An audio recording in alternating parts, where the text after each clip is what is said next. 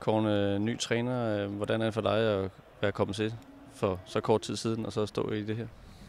Nå, men det er selvfølgelig lidt hektisk, og det er en speciel situation, og jeg havde da håbet på, at jeg kunne øhm, komme i gang og samarbejde med Yes, øh, og, og øh, ligesom øh, være med til at være en del af det, og det var selvfølgelig også det var planen. Øh, men nu, nu er situationen en anden, og, og nu glæder jeg mig så til at komme i gang med, med Nes og øh, øh, være med til at starte det projekt.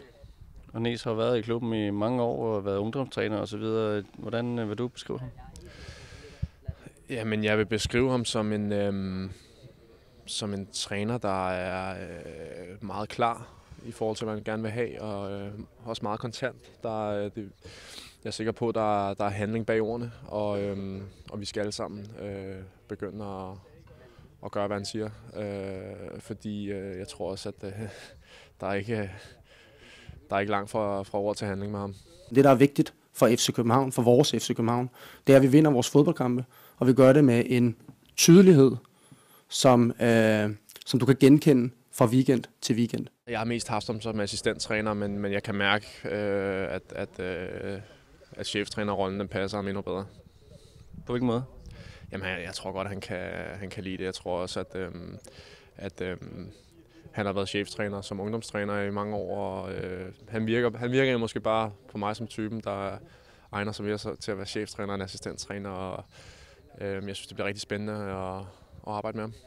Og hvad er det så for et arbejde, der venter for jer øh, netop nu på den korte bane? Der venter utrolig mange kampe i hvert fald.